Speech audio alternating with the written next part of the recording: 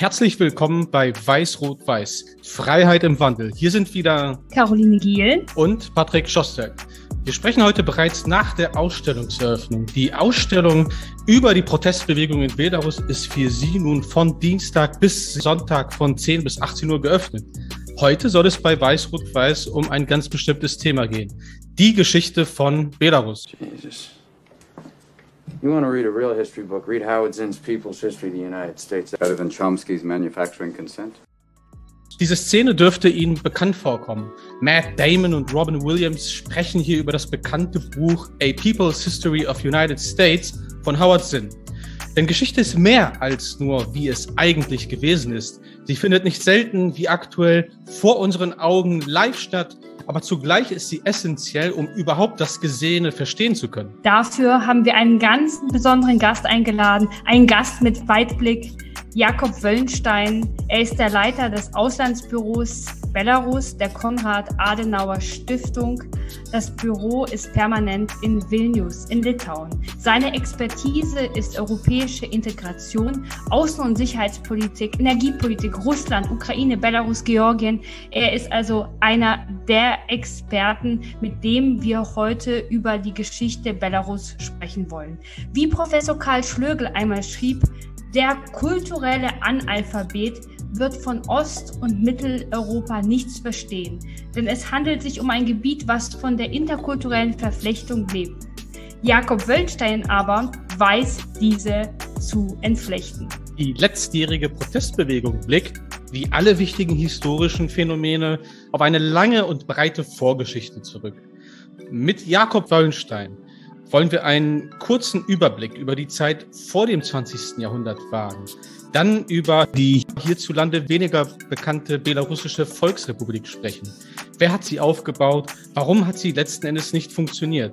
Was passierte mit Belarus, bevor es dann im Würgegriff zweier Totalitarismen zu einem Teil der sogenannten Bloodlands wurde? Diese lange Linie ziehen wir dann auch noch über die kommunistische Ära bis hin zur Wiedererlangung der Unabhängigkeit und die Zeit nach 89, die Zeit der großen Hoffnungen zunächst, dann aber auch der missglückten Privatisierung, Oligarchisierung und schließlich Lukaschenkas Wahlerfolg 1994, die dann lange, lange Jahre anhielt und dann in den gefälschten Wahlen 2020 mündete und den Protesten, die wir alle gesehen haben. Aber zunächst wollen wir Jakob Wöllenstein kennenlernen. Wir freuen uns sehr, Jakob, dass du hier bei dem Podcast Weiß-Rot-Weiß dabei bist. Was ist aber eigentlich deine Verbindung zu Belarus? Einige Jahre bist du ja schon, ähm, ich würde nicht sagen im Land, aber einige hundert Kilometer entfernt zur Grenze und warst auch zahlreiche Male in Belarus. Hallo, ja, nicht einige hundert Kilometer, sondern einige wenige Kilometer. Es sind ja, ich glaube, 30 Kilometer Luftlinie von Vilnius bis nach Belarus ähm, an die Grenze. Und in der Tat sind wir sehr, sehr nah dran. Und der Weg selbst bis nach Minsk äh, ist ungefähr so wie, wie die Entfernung von Berlin nach Leipzig, also 170 Kilometer normalerweise in zwei Stunden gut zu machen, wenn nicht eine geschlossene EU-Außengrenze dazwischen liegen würde. Vielen Dank auch für diese äh, ja, große Anmoderation, gerade zu diesem Thema sprechen zu können. Geschichte, obwohl ich selbst äh, gar nicht Historiker bin. Ich habe allerdings in meinen Studienfächern äh, European Studies und äh, Politikwissenschaft und Theologie so viele Geschichtsmodule belegt, dass mich die Uni äh, irgendwann fälschlicherweise von selbst in den Bachelor Geschichte eingeschrieben hat äh, für ein Semester. Das war ein Missverständnis, aber genau, meine Passion für Osteuropa oder für Ostmitteleuropa hat in dieser Zeit angefangen, indem ich über Erasmus erstmal nach Polen gekommen bin und mich dann so langsam vorgetastet habe und dann in der Uni Russisch angefangen habe zu lernen und dann viele Reisen gemacht habe in die Ukraine und dann später eine Litauerin geheiratet habe. Und wer die Karte so ein bisschen im Blick hat von Osteuropa und Mitteleuropa, der weiß, dass es jetzt alles Länder sind, mit denen man einmal um Belarus außen rum geht. Äh, und ähm, das ist ein Phänomen, das ja dieses Land äh, doch immer wieder begleitet hat, dass man, ja, die einen sagen weißer Fleck auf der Landkarte, die anderen sagen Terra Incognita. Äh, ein Land, das ja geografisch nun wirklich mitten in Europa liegt. Direkt hier nördlich von Vilnius ist ein Punkt, wo die Litauer sagen, das ist der wissenschaftlich berechnete Mittelpunkt Europas, also direkt neben Belarus dass selbst Experten, die sich mit, mit Osteuropa beschäftigen, äh, dieses Land immer ähm, umkreisen. und man davon irgendwie wenig mitbekommen hat. Und dann letztes Jahr nun durch, die, durch diese einprägsamen Proteste, das bei uns und in der ganzen Welt in die Schlagzeilen gekommen ist, äh, aus guten Gründen, und das ist wichtig, da ist es ja jetzt auch wieder aktuell, aber dass natürlich dahinter ein, ja, ein Land steht, das Europa in a nutshell gewissermaßen ist, mit Verbindungen natürlich historisch und kulturell äh, bis ins tiefe Westeuropa, nach Südeuropa aber auch. Äh, die Christianisierung von, äh, von Belarus, da ja, legen äh, national bewusste Belarusen viel Wert darauf, dass das direkt über Byzanz gekommen ist und eben nicht über den Umweg Moskau. Äh, aber natürlich eben auch klar, besonders in den letzten 200 Jahren, eine sehr, sehr enge Verbindung äh, mit dem östlicheren Europa. Also all das kommt in Belarus zusammen und hat natürlich Spuren hinterlassen, auch wenn es ja auch äh, natürlich wahr ist, dass diese Spuren auch immer wieder verwüstet wurden, weil Belarus eben auch immer wieder Schauplatz wurde der europäischen Kriege. Jakob, du warst vor nicht allzu langer Zeit in der Talkshow bei Markus Lanz. Es schaffen nicht viele, von Politikwissenschaftlern, Historikern, die sich mit dem östlichen Europa, mit Belarus, Polen und anderen Staaten beschäftigen in dieser Talkshow. Deine Aufgabe war es, die aktuelle Situation in Belarus zu erklären. Was hast du dem deutschen Publikum gesagt, damit sie Belarus besser verstehen? Und wie hast du das gesagt? Ja, die Einladung in diese Talkshow war eine, ja, eine Überraschung. Es gab eine große Medienanfrage natürlich zu diesem Fall äh, Ryanair, Zwangslandung in Minsk. Äh, und da war das ZDF, ich glaube sogar auf ein Angebot unserer Pressestelle, die sagten, wir haben Leute, die darüber reden können, äh, auf mich zugekommen, erst mit einem äh, kurzen Interview für die, äh, für die Website und dann, ja, wurde daraus die Anfrage von Markus Lanz, wo ich selbst erst dachte, da geht es um zwei Minuten Einspieler äh, und dann erst über das Programm selber erfuhr, ja, ich bin der erste Gast, der da reden darf. Also ist natürlich mit Demut, dass man sowas annimmt und hat natürlich auch damit zu tun, dass es einfach zum äh, Thema Belarus nicht so viele Experten in, in Deutschland gibt, äh, auf die man zurückgreifen kann. Es gibt da einige, die auch immer wieder zu sehen sind. Ähm, genau, aber das war eine besondere Ehre. Und natürlich ging es an dem Abend ja vor allem darum, das Aktuelle einzuordnen, was ist da passiert mit äh, Raman Platasevich und der Verhaftung. Ähm, also viel Zeit für die tiefen Hintergründe war nicht, aber dafür sind wir natürlich als Adenauer-Stiftung auf, auf anderen Kanälen und mit vielen Hintergrundgesprächen aktiv. Ja, und was, was ich immer sage, ist, dass es eben überraschend nah ist. Ne, zum einen von, von Berlin aus äh, ist man von, also vom östlichen Teil von Berlin ist man geografisch näher an Belarus als vom südwestlichen Teil von Deutschland. Äh, also ein, ein Land, das vor der Haustür liegt, eben Nachbarschaft der EU und wo man eben also wenig bekannt ist, weil es hochgradig exotisch ist und es eben sehr, sehr viel Spannendes zu entdecken gibt, äh, jenseits dieser, dieser Tagespolitik und natürlich der, der schrecklichen Situation, die wir gerade erleben mit der Terrorwelle und dem Versuch des Regimes, ja alles zunichte zu machen, was sich gegen das Regime auflehnt. Erst heute kam die Nachricht, dass Tutbei, äh, dieses wichtige Nachrichtenportal, jetzt sogar nicht nur gesperrt ist, sondern sogar als extremistisch eingestuft werden soll. Also ein, ein Portal, das äh, wie kein anderes darum bemüht war, objektiv Informationen zur Verfügung zu stellen, dass selbst das schon extremistisch gilt. Also hinter diese, diese tagesaktuellen Schlagzeilen zu gucken. Und da, wie gesagt, gibt es sehr, sehr viel Spannendes zu entdecken. Jakob, vielen Dank für diesen persönlichen Einblick. Dann würde ich sagen, dass wir jetzt auch schon etwas tiefer in die Materie im wahrsten Sinne des Wortes einsteigen. Ähm, Jakob, äh, Belarus vor dem 20. Jahrhundert. Äh, vielleicht beginnen wir erstmal mit der Frage, gab es so etwas wie eine belarussische Identität vor dem 20. Jahrhundert? Und was wären die historischen Eckpunkte, die Hauptereignisse, von denen wir hier eigentlich alle schon längst wissen müssten? Ich glaube, es ist immer schwierig, wenn man mit dem Terminus Nationalidentität versucht, über das 19. Jahrhundert hinauszugehen, auch in anderen Ländern. Ne? Das ist ja selbst in, in Deutschland und Frankreich oder Deutschland verspätete Nationen besonders, aber auch selbst in Frankreich, der Grand Nation, sind ja diese Prozesse, die Nation zu bilden, ja auch besonders ein Produkt des 19. Jahrhunderts und darüber hinaus waren ja die, die Zuordnungen nicht nationale, sondern eben äh, über, über Stand und über, über Konfession. Aber natürlich beginnt Belarus Geschichte nicht im 20. Jahrhundert, sondern da war natürlich ein, ein Land äh, lange und auch Völker, die dort lebten, äh, ein, ein, ein Gemisch, muss man ja sagen, Ostslawen natürlich, ähm, dann Balten, die auch immer dort zu Hause waren, aber auch Tataren, ganz viele Juden, die dort äh, auf Einladung hingekommen sind in Zeiten, wo sie in Westeuropa verfolgt wurden. Und ähm, man muss natürlich wissen, das Land Belarus unter diesem Namen gibt es tatsächlich erst seit dem 20. Jahrhundert, seit dem Ende des Ersten Weltkrieges, als die Belarussische Volksrepublik äh, entstanden ist.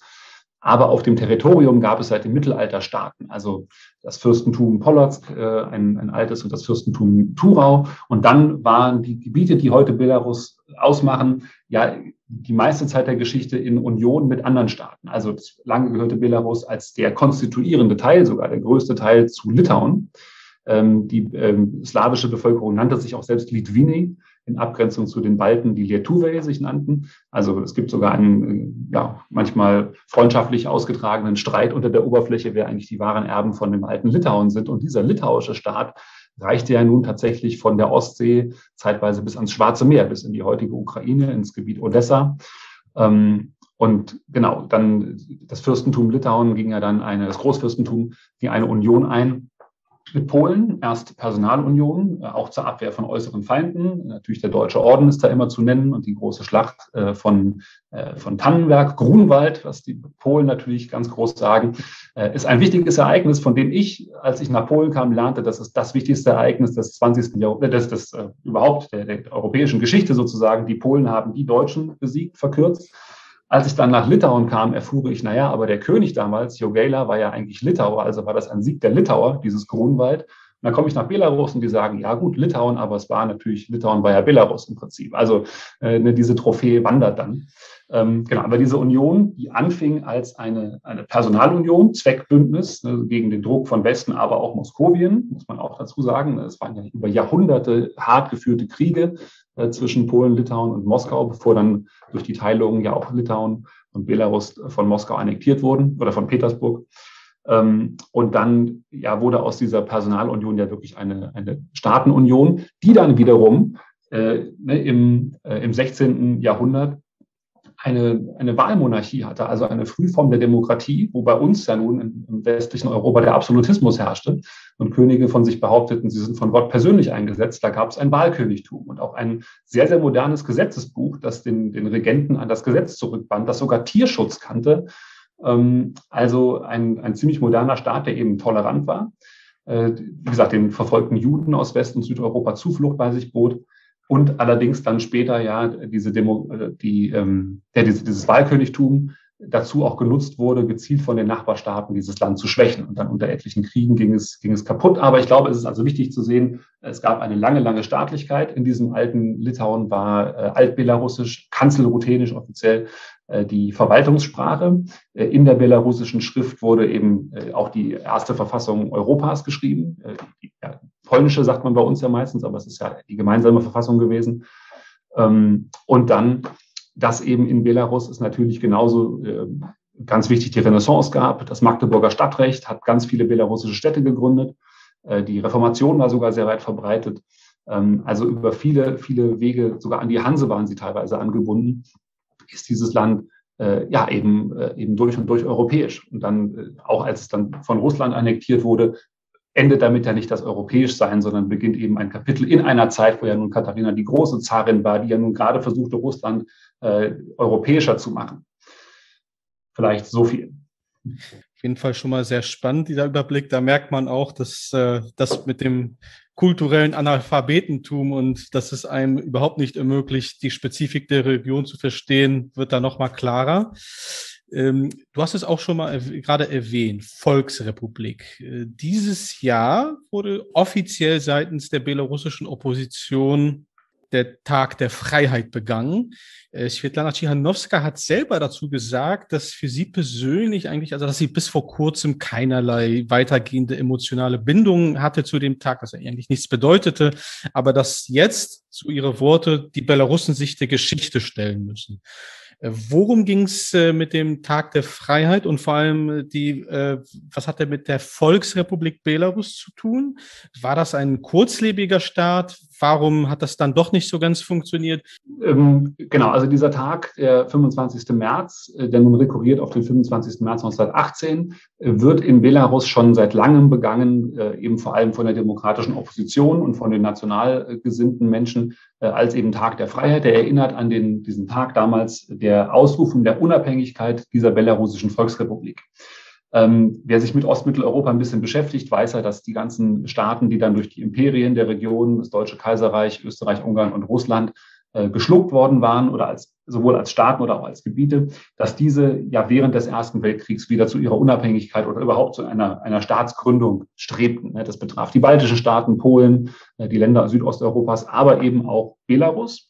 Wobei natürlich die Länder vor dieser Frage standen, was durch diese Teilungen äh, aufgelöst worden war, war ja dieses multiethnische, äh, multinationale Großreich, also Polen, Litauen. Und die Frage war, was will man eigentlich erreichen? Will man das wiedergründen äh, und zurückkehren äh, zu dem Status quo ante sozusagen im 18. Jahrhundert da weitermachen? Oder will man Subgrößen gründen? Es gab auch den Versuch, eine polnisch-litauische, Entschuldigung, eine litauisch-belarussische Republik äh, auszurufen. Auch das war ein kurzlebiges Projekt, dann schon unter sozialistischen Vorzeichen. Oder setzt sich der Nationalstaat durch? Und alle wissen, das ist Geschichte, der Nationalstaat war dann das Element, das auf der, auf der einen Seite eben stark sich durchsetzen konnte, während auf der anderen Seite ja nun durch die bolschewistische Revolution äh, dieses Modell äh, ja mit, mit militärischer Gewalt, beide natürlich jeweils auch verbunden ist, äh, schaffte sich durchzusetzen. Ähm, und Belarus ja, war einmal geografisch natürlich auf der Zwischenlinie, aber eben auch besonders äh, unter der Frage, dass durch die lange Russifizierung ähm, von 123 Jahren, aber auch die Frage, dass die nationale Identität nicht gleichermaßen ausgebildet war wie beispielsweise schon in Polen. Äh, die Städte waren äh, zum großen Teil entweder jüdisch oder polnischsprachig. Äh, und das, die belarussische Nationalbewegung hatte zwar auch Fahrt aufgenommen Ende des 19. Jahrhunderts mit einem großen Zentrum in Vilna, Vilnius, auch die alte multiethnische Hauptstadt dieses Großfürstentums Litauen aber eben nicht so äh, tief verwurzelt, äh, wie eben beispielsweise die polnische. Und auch anders als die Litauer, die ja nun eine völlig andere Sprache hatten als die Russen, äh, die als Katholiken in der Konfession sich abgrenzen konnten, die auch denen es einfacher fiel, sich da eben als Nationalstaat neu zu formieren, als den Belarussen, die eben als Ostslawen äh, russifiziert waren und eben auch orthodoxe waren, wobei man dazu ja auch sagen muss, es hatte in dem in der Neuzeit schon eine, eine Kirche gegeben, griechisch-katholische Kirche, also eine, eine, Konfession in diesem alten äh, Litauen, das versuchte, äh, die, Kirche, die versuchte, die Orthodoxie mit dem Katholizismus zusammenzubringen, dass man also den Papst anerkannte und aber orthodox blieb. Und das war auch wiederum durch das russische Zarenreich äh, zurückgefahren worden mit, mit starker Gewalt. Also die Frage, lange Vorrede, was macht man jetzt? Und äh, die Belarussische Volksrepublik war dann also die Antwort, es national zu versuchen allerdings ähm, unter den Vorzeichen der deutschen Besatzung.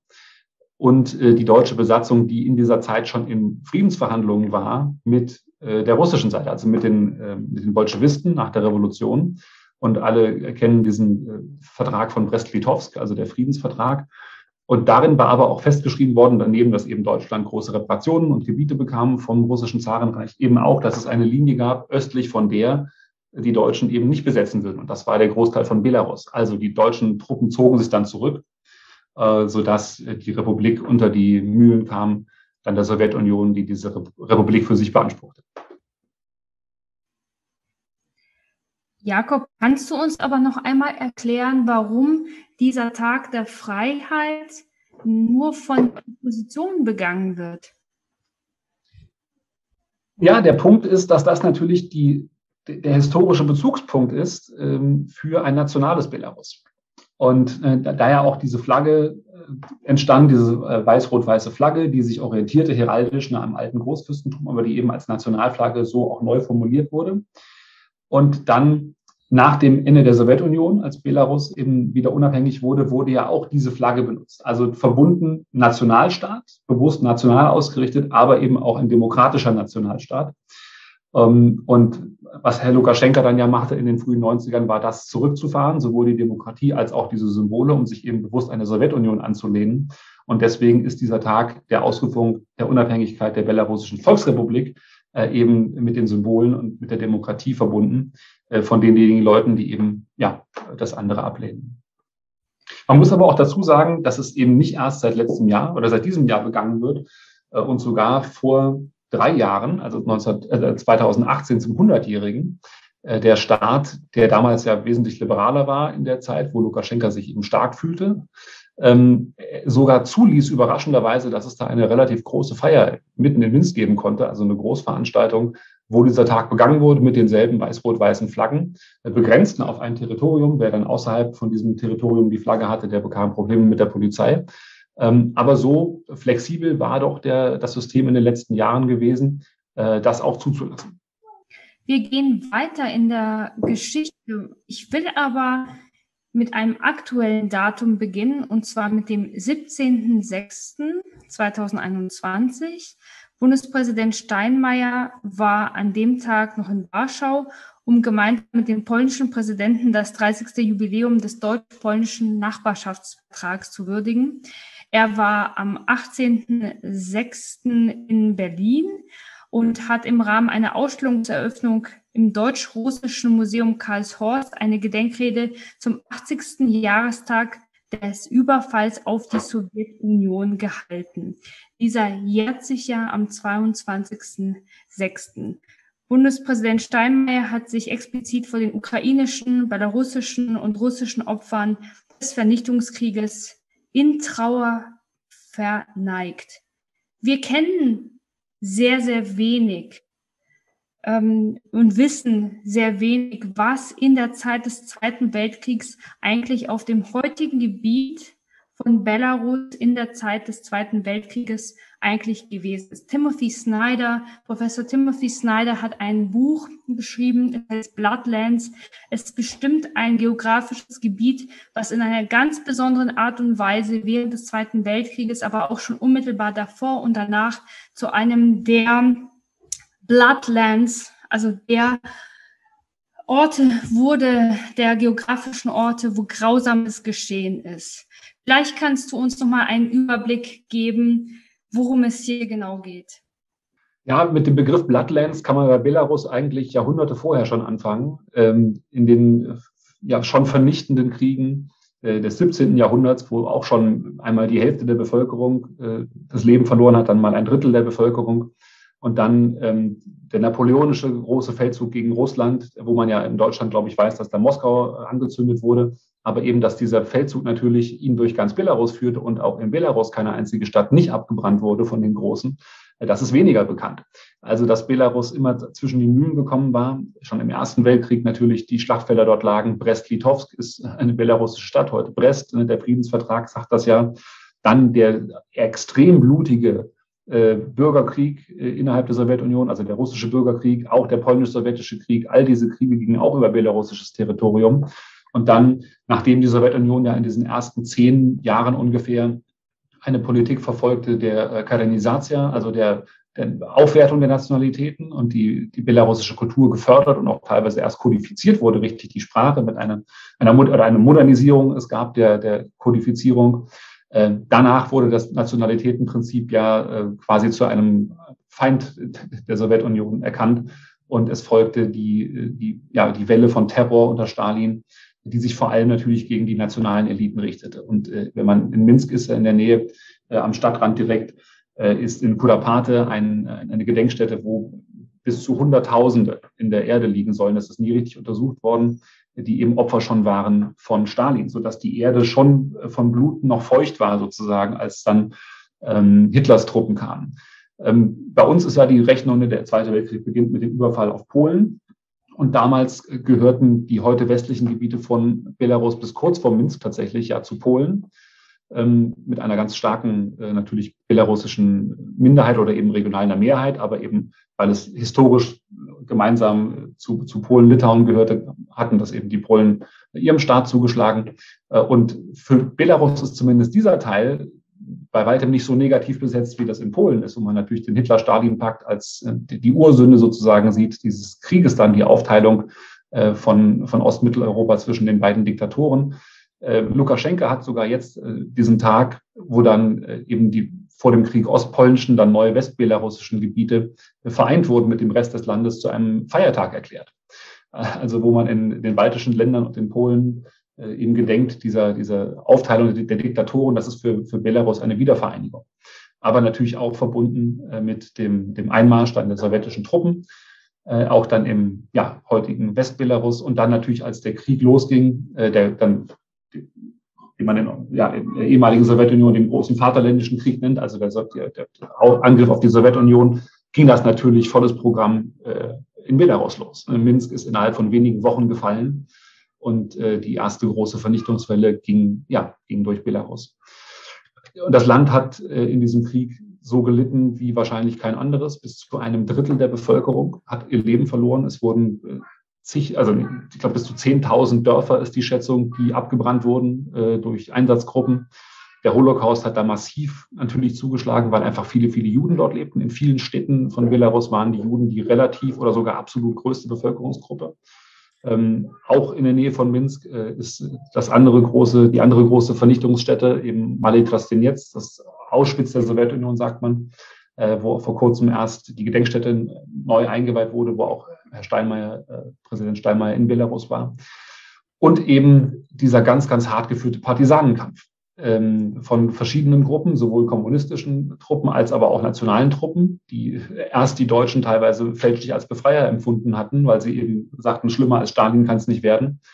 Äh, die dann in die Wälder gingen, als sie merkten, es geht natürlich um unsere Vernichtung. Der, der, große Generalplan Ost war ja, dass im ersten Jahr schon, also der, der Plan der Nazi-Führung, dass schon im ersten Jahr bis zu 30 Millionen Menschen hätten sterben können, äh, mindestens in Kauf genommen, Hungertod.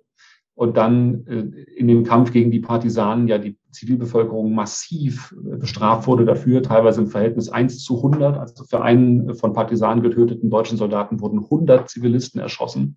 Und das soweit ging, dass ganze Gebiete auf der Karte einfach deklariert wurden als Todeszone, weil man sagt, wir können nicht wissen, aus Sicht der Nazis, wer ist jetzt Partisan und wer nicht.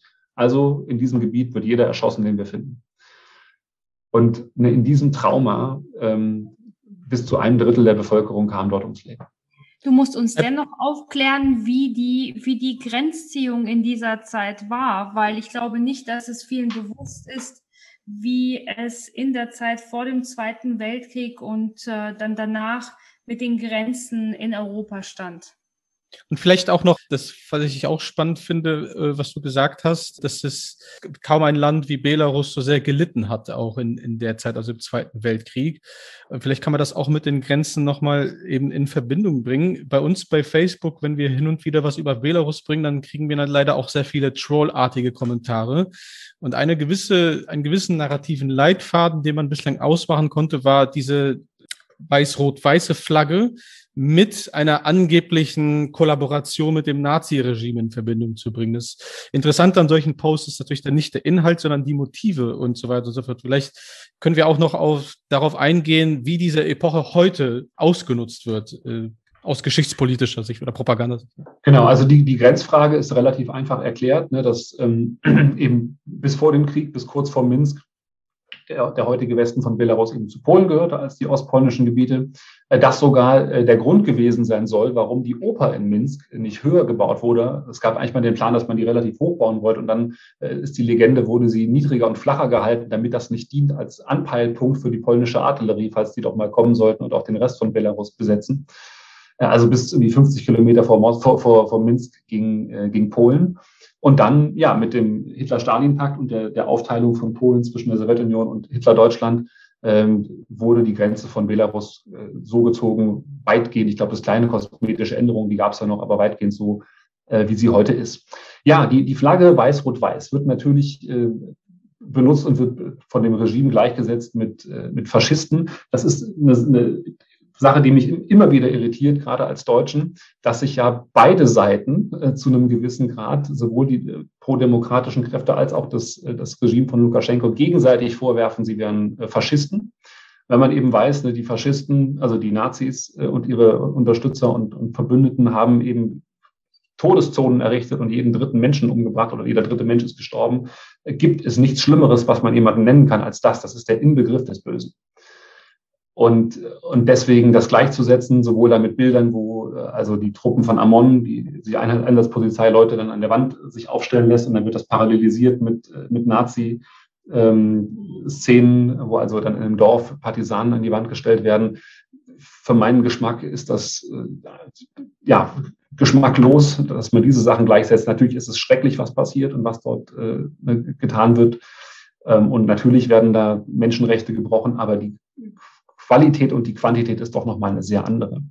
Und dass eben gleichzeitig ne, das, äh, das Regime seine Gegner eben als Faschisten bezeichnet und die Flagge nun äh, als Kollaborationselement also verbieten lassen will, ist auch absurd. Wie gesagt, die Flagge war die Flagge der, der Belarussischen Volksrepublik war dann ja die offizielle Flagge, unter der Lukaschenka ja selbst Präsident wurde in den 90er Jahren, äh, die er dann ja erst per Referendum wieder abschaffen ließ. Also es war die, die Flagge des demokratischen Belarus, ist jetzt ähm, ja, eben zum, zum Symbol der demokratischen Proteste geworden. Auch deswegen, weil eben das Regime selbst ja die offizielle Staatsflagge bewusst auch nutzt und sie dann an, ähm, an, an, an Gefängniswagen dranhängt, also zum, zum Symbol der Niederschlagung der Proteste machte. Das hat es, glaube ich, auch nochmal beflügelt. In der Tat gab es natürlich Kollaboration während des Zweiten Weltkrieges, äh, wie schon gesagt, weil die Erde noch feucht war vom Blut der, der Opfer der Stalin, äh, des Stalin-Terrors, dass eben einige Gruppen die Deutschen erstmal begrüßten, dass rekrutiert wurde in dieser perfiden Art und Weise. Das Ziel war natürlich, Belarus zu einer Sklavenkolonie zu machen von Hitler-Deutschland, aber erstmal Kräfte ja auch in der Ukraine, in Litauen, überall. Ich glaube, Polen ist das einzige Land, wo es das nicht gab, weil da von vornherein nur auf Vernichtung gesetzt wurde. Ähm, oder da die ja, Leute als Volksdeutsche höchstens eingezogen wurden, ob sie nun einen deutschen Opa hatten oder nicht. Ähm, aber dass da natürlich Verbände auch aufgestellt wurden im Kampf als Hilfstruppen gegen die Sowjetunion und dann aber auch gezielt mit dieser Flagge geködert wurde. Also, dass man Leute bewusst damit zusammentrommelte, um ne, eben zu erinnern an die Unabhängigkeit und sagte, ja, das, die Deutschen unterstützen das, was aber völlig klar war, dass das nie das Ziel gewesen ist. Also da wurden Leute mit falschen Hoffnungen geködert, äh, was nicht heißt, dass es da nicht auch Antisemiten gegeben haben mag. Das will ich überhaupt nicht kollektiv jetzt freisprechen, aber man muss das, glaube ich, sehr genau angucken äh, und das ins Verhältnis setzen äh, und eben genau hinterfragen, was sind die heutigen Motive.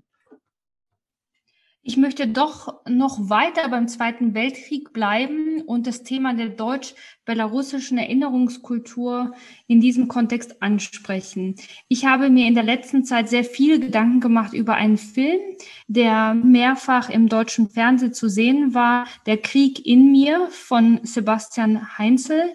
Es ist ein Filmemacher, der selbst ähm, nicht in der Generation des Zweiten Weltkrieges zu äh, ansiedeln ist, sondern es geht um seinen Großvater und er bearbeitet in dem Film die, die Traumata, die nach den Erfahrungen der Soldaten im Zweiten Weltkrieg, der deutschen Soldaten, auch noch in weitergehenden ähm, Generationen zu finden sind. Belarus spielt ein zentrales Thema. Und äh, in vielen Familien ist es immerhin noch so verankert, dass es darum geht, mein Opa war in Russland und äh, so geht es auch bei mir. Also mein Opa war in Russland, es stellt sich heraus, es war in der heutigen Ukraine. Was denkst du, was sind denn die Herausforderungen auch in diesem gemeinsamen Erinnerung, Erinnern zwischen Deutschen und, ähm, und in Belarus? um das eben klarzustellen, auf welchem Boden das alles passiert ist und welche vielleicht auch Folgen das hat für das gemeinsame Erinnern.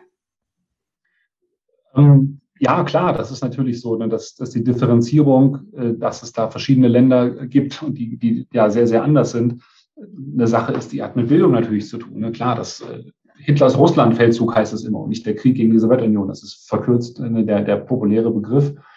Ähm, und es, natürlich waren die Länder verbunden mit der Sowjetunion, ist ja völlig klar. Und das ist ja die, die Narrative, die auch bis heute die offizielle natürlich ist. Man hat das gemeinsam als Brüder äh, erlitten und dann auch gemeinsam gewonnen. Der Sieg ist ein sowjetischer äh, und der ist das gemeinsame Vaterland. Das ist ja die Narrative, die Lukaschenka persönlich so äh, treibt und die aber natürlich auch viele Leute teilen, weil das natürlich auch so ist. Es war der Staat Sowjetunion wurde ja auch deswegen angegriffen, weil es eben ein, ein anderes System war Ne, ein, eben das kommunistische System war das Ziel der Vernichtung, aber eben auch klar äh, die, die rassistische Ideologie der Vernichtung der Menschen, nicht nur weil sie kommunistische Parteipässe hatten, sondern weil sie eben Slawen und Juden und so weiter gewesen sind.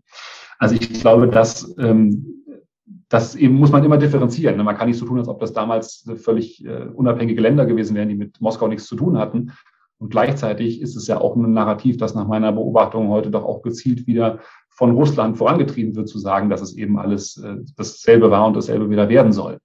Ähm, also man muss natürlich aufpassen, ne, dass es, ukrainische Soldaten waren ja wohl die ersten, die nach Auschwitz kamen, hat deswegen die Ukraine Auschwitz befreit, fraglich. Ich glaube, es waren auch ukrainische Soldaten, die auf die Amerikaner getroffen sind in Torgau, aber natürlich in sowjetischen Uniformen. Äh, also beides hängt miteinander natürlich zusammen. Das, ne, die Länder sind eben heute unabhängig und äh, haben eine eigene Identität, auch schon, ne, die nicht erst 1990 beginnt, sondern darüber hinausgeht.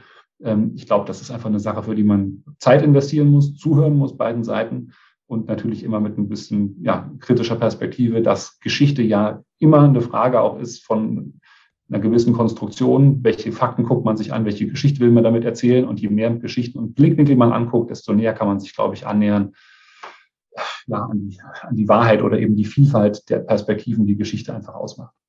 Bevor wir nun äh, fortschreiten, um über die Zeit hinter dem eisernen Vorhang und danach noch zu sprechen, wollte ich vielleicht auch noch mal doch äh, auf ein kleines Detail eingehen. Denn äh, die Bloodlands, so mein Eindruck, werden häufig in den Feuilletons ja vor allem mit dem Zweiten Weltkrieg oder kurz davor in Verbindung gebracht. Tatsächlich ist es aber auch so, dass dies für die Jahre unmittelbar nach dem Zweiten Weltkrieg gilt. Also die baltischen Staaten waren zum Teil an ihrem biologischen, ihrem Existenzlimit fast schon. Äh, die Frage ist, äh, wie war das aus deiner Sicht in Belarus in den Jahren unmittelbar nach 45? War es dann auch noch ein Bloodland immer noch? Ja, das bezieht sich ja, glaube ich, vor allem darauf, dass es ja Partisanenbewegungen gab, die dann äh, anti-sowjetisch waren, ne, in Litauen ganz stark und in der Ukraine, in der Westukraine vor allem, die ja bis in die frühen 50er äh, immer noch den bewaffneten äh, Widerstand weiterführten, nach dem ganzen schrecklichen Krieg, also nochmal äh, quasi um dieselbe Zeit nochmal weiterkämpften. In Belarus ist mir das nicht bekannt, dass es das gegeben hätte, äh, vielleicht vereinzelt.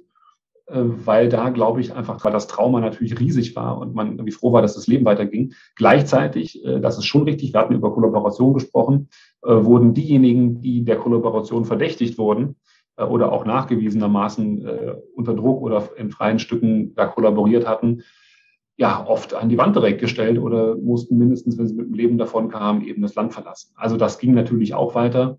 Ähm, aber wie gesagt, die Partisanenbewegung in dem Umfang wie in Litauen und der Ukraine gab es nicht.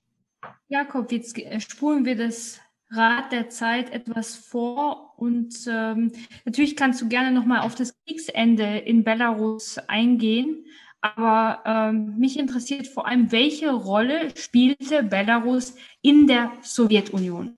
Ja, das sagte ich äh, gerade, da kann man, glaube ich, direkt weitermachen. Die, die, die Zuversicht und die, die Erleichterung, dass es eben, dass dieser Terror, diese Hölle äh, von den Jahren äh, des Krieges äh, zu Ende war.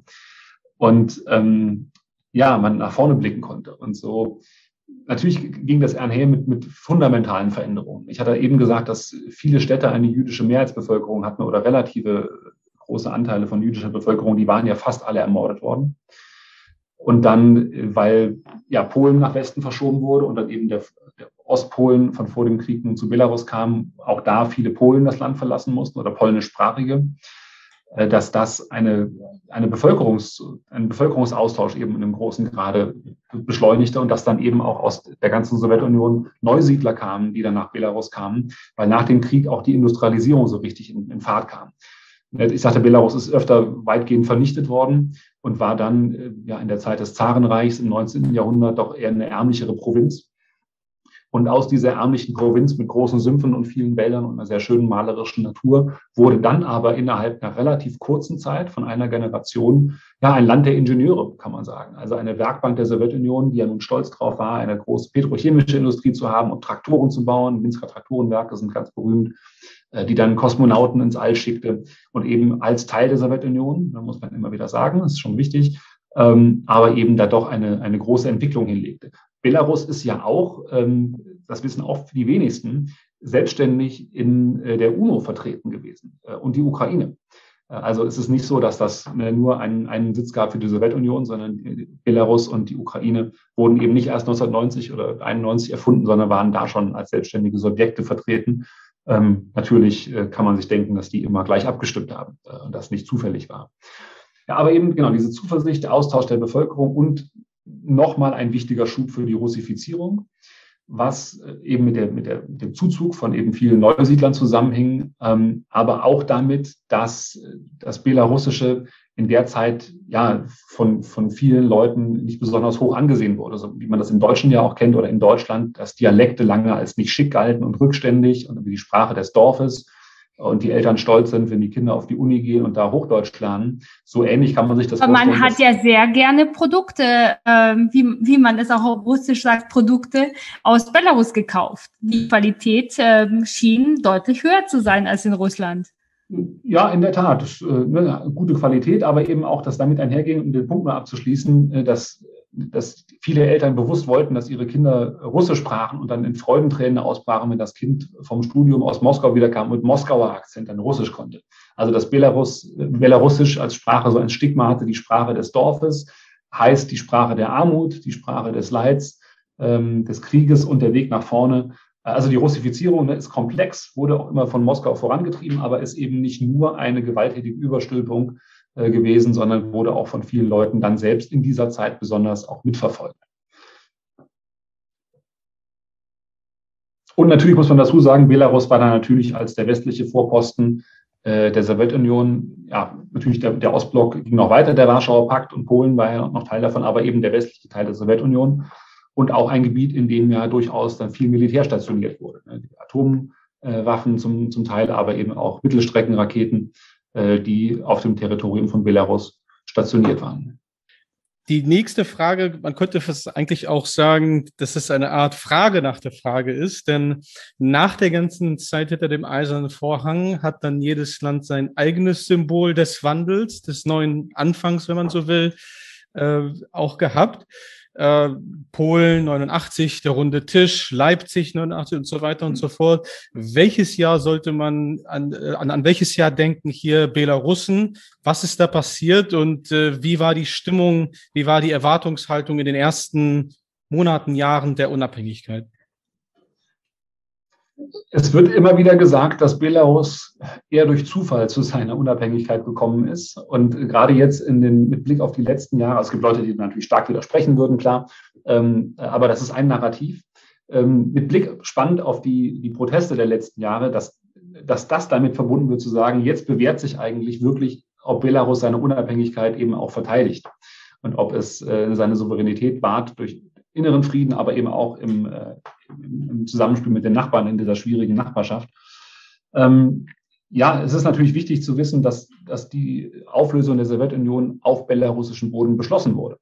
Äh, und dann äh, ein gewisser Herr Lukaschenka, der damals äh, gerade als Abgeordneter in den obersten Sowjet von Belarus gewählt worden war, später von sich behauptete, er wäre der Einzige gewesen, der dagegen gestimmt hat. Und das ist natürlich wichtig, wenn man sich anguckt, die, die Stimmung, von der ich eben sprach, ne, weil, weil die sowjetische Zeit eben einen massiven Fortschritt brachte, Industrialisierung, eben Häuserbau und so weiter, Perspektiven für die Leute, äh, dass die Zeit doch auch zu weiten Teilen als eine recht glückliche und gute Zeit gesehen wird. Ne, der, der Wohlstand war jetzt nicht so, dass man da jeweils äh, große äh, Vermögen anhäufte, aber doch Sicherheit, Abwesenheit von Krieg, ganz wichtig nach diesen Traumata. Und dann ja auch ne, die Tschernobyl-Katastrophe, äh, die zwar in der Ukraine passierte, aber wo der Fallout ja zu ganz großen Teilen, ich glaube bis zu 85 Prozent in Belarus niederging. Ähm, ne, all diese, diese Sachen äh, waren jetzt nicht so, dass das die Menschen dazu anregte, dass man große Abenteuer eingehen wollte, sondern diese die Sicherheit und, und Ruhe waren doch entscheidende, prägende Elemente. Okay. Und Gut, dann sind, haben wir schon mal diesen Zeitrahmen ungefähr besprochen. Dann Aber das ist so die, die, die Frage, weil ja eine, was sozusagen, was ist der entscheidende Punkt? Da kann man wahrscheinlich sogar sagen, das ist Tschernobyl gewesen, weil da eben mhm. äh, so viel nochmal die Menschen dann abbekamen, dass eben diese, äh, diese ruhige und oder glückliche Zeit dann eben mit diesem Preis einherkam, dass das System eben so ineffizient war, dass es solche Katastrophen nicht verhindern konnte, mindestens. Mhm. Tschernobyl als Symbol des Wandels. Das ist äh, auch sehr interessant narrativ gesehen und ich glaube wenig verbreitet. Äh, wo wir, ich glaube, wir müssen jetzt auf das Schicksalsjahr zu sprechen kommen, 1994. Und vielleicht können wir hier ganz kurz auch noch mal unseren vorherigen Gast erwähnen, Vitali Alexenok. Äh, der beschrieb das als eine Wahl, die vor allem auch gegen die mittlerweile bekannten Schattenseiten der Transformation jener Jahre gerichtet war, vor allem auch gegen Korruption. Und das Interessante ist, dass Alexenok auch zu dem Schluss kommt, dass es ihm in der Anfangszeit durchaus gelungen ist, sogar diese Korruption einigermaßen in Schach zu halten, aber für einen hohen, sehr hohen Preis. Und Jakob, die Frage jetzt an dich. Wie hoch war dieser Preis tatsächlich? Und waren 94 auch schon die letzten freien Wahlen im eigentlichen liberal-demokratischen Sinne in Belarus? Ja, die letzte Frage kann man direkt mit Ja beantworten, wenn man sich die Einschätzung etwa der OSZE anguckt. Äh, die Wahl von Herrn Lukaschenka zum ersten und einzigen Präsidenten von Belarus war eine freie Wahl, äh, die er wirklich mit, mit atemberaubenden Zahlen von 80 Prozent gewonnen hat.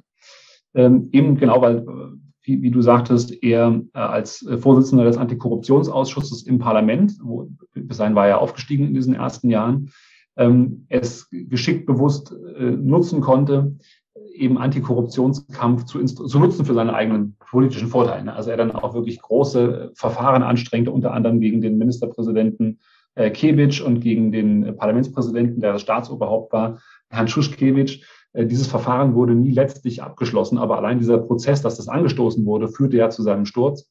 Äh, und Lukaschenka konnte, konnte es dann nutzen, sich als Macher zu inszenieren ähm, der eben ja die, die Probleme der kleinen Leute sozusagen im Blick hat. Also heute wird man vielleicht sagen, eine populistische Kampagne, nachdem es ja, das habe ich eben nicht ausführlich gesagt, natürlich diese drei Jahre schon gab, ne, nach dem Ende der Sowjetunion und der Wiedererlangung der Unabhängigkeit, wo Belarus ja auf dem demokratischen Weg war, äh, auch das Nationale eine ganz starke Wiedergeburt erlebte äh, mit äh, einer starken Belarusifizierung des Bildungswesens, der öffentlichen äh, Dokumente, die öffentliche Sprache war belarussisch und da eben ganz stark aus der Geschichte geschöpft wurde von diesen nationalbewussten Menschen.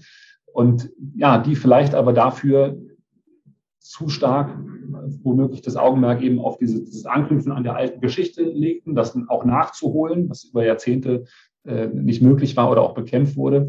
Und damit ja sich aber ein Stück weit vielleicht entfernten von der Lebenswirklichkeit von vielen Leuten, die eben sagten, unsere Probleme sind nicht die nationale Identität, sondern wir sind Bread and Butter, Issues, ne, dass man eben äh, in dieser schwierigen Zeit der Transformation einfach wiederum Sicherheit haben wollte. Es, es ist nicht in Belarus so stark äh, gekommen mit der Privatisierung, der Oligarchisierung, wie ja in der Ukraine äh, oder in Russland, die ja nun wirklich in Chaos verfielen und Bandenkriege und Mafia und das ist auch alles bekannt. Aber dass Lukaschenka es eben von vornherein sagte, ich halte euch diese Sachen fern. Wiederum und Abwesenheit. übrigens. Na klar, ja, auch das unter dem Eindruck, ne, dass also, dass die Sezession äh, zu Krieg und Gewalt führt. Äh, das war sicherlich ein wichtiges Element, wo Lukaschenka dann sagte, ja, symbolisch knüpft man an der Sowjetunion an. Er führte dann die alten Symbole wieder ein mit leichten kosmetischen Änderungen, die alte Fahne, äh, das alte Wappen. Äh, Russisch wieder eingeführt als äh, zweite, aber de facto erste Amtssprache. Ähm, und damit einherging natürlich auch wieder eine starke Annäherung an Moskau damit konnte er bei vielen Leuten doch anknüpfen, ne, die eben ein positives Bild hatten von der Sowjetunion und eben als Negativfolie sahen, was ja auch bewusst als Narrativ bedient wurde äh, durch das Regime dann, äh, dass Demokratie eben Chaos bedeutet. Wir haben ja heute nicht zum Thema das letzte Jahr zu diskutieren, also 2020, die Proteste, und die gefälschte Wahl. Das hatten wir sowohl in dem ersten Podcast, beziehungsweise werden das auch noch weiterhin aufgreifen. Aber du hast uns mehr als genug bewiesen, dass du den, ja, dass du dieses Attribut Historiker verdienst. Und deswegen darf ich dich fragen, was glaubst du denn, wie wird man dieses Jahr 2020 respektiv historisch in Erinnerung behalten? Der Mensch neigt dazu, Dingen äh, rückwirkend einen Sinn zu geben, den es vielleicht in dem Moment gar nicht gegeben hat. äh, und äh, weil man natürlich gerne runde Geschichten erzählt, das mache ich auch besonders gerne. Ähm, meine Hoffnung ist, dass sich das bewahrheitet, was äh, einige ja jetzt schon sehen, einige wirkliche Historiker, die nicht nur Dankeschön für den Titel Ehrenhistoriker sind, äh, dass wir erleben den ja, womöglich Abschluss der Nationenbildung von Belarus der nun im 19. Jahrhundert besonders Fahrt aufgenommen hatte, dann immer wieder zurückgeworfen wurde, der aber nicht äh, so läuft, wie das eben in vielen anderen Ländern war, in der Zeit des 20. Jahrhunderts eben mit einem äh, Exklusivismus, einem ethnischen Exklusivismus, sondern der sich eben vor allem um die Prinzipien dreht von Rechtsstaatlichkeit, ähm, Demokratie, und das sind wiederum Prozesse, die man historisch sieht in den letzten Jahren, dass es einen Wertewandel gibt, eben weg von den postsowjetischen Werten von Paternalismus, dass man eben vom Staat erwartet, der kümmert sich um alles, sondern individuelle Verantwortung ist, glaube ich, ein wichtiges Thema, aber eben auch Solidarität. Und das ist das andere wichtige Element, äh, dass wir diese ganzen Nachbarschaftsgruppen sehen in Belarus, die sich zusammenfinden und Leute einfach einander kennenlernen.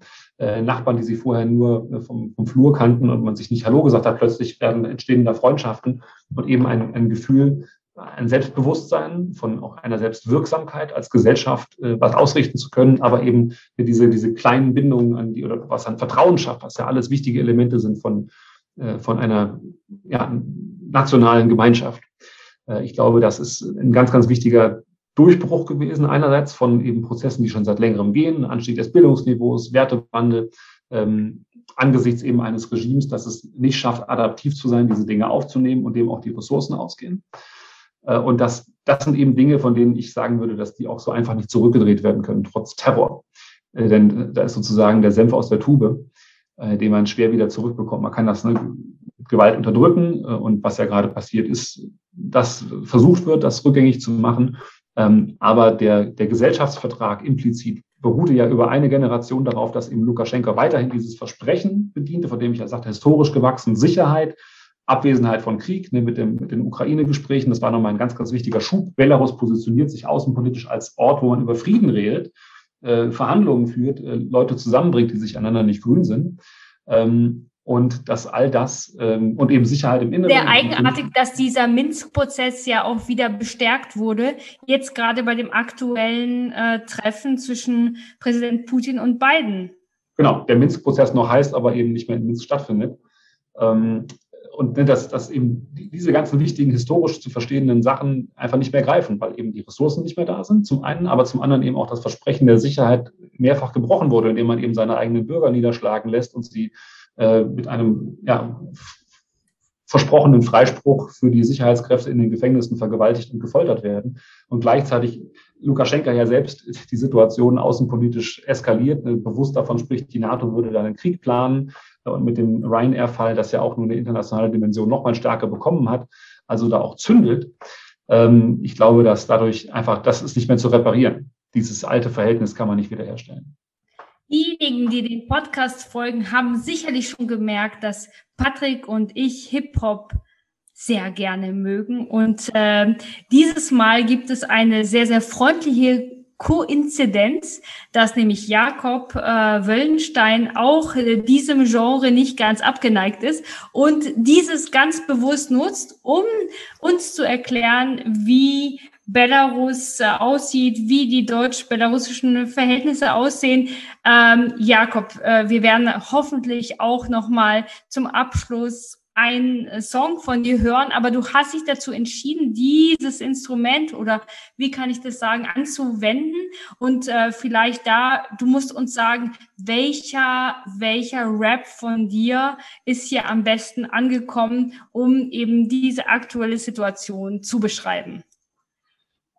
Für die aktuelle Situation äh, gibt es ja noch gar keinen. Es gab einen, der war für die Situation kurz vor der Wahl, wo ja vieles sich schon abzeichnete.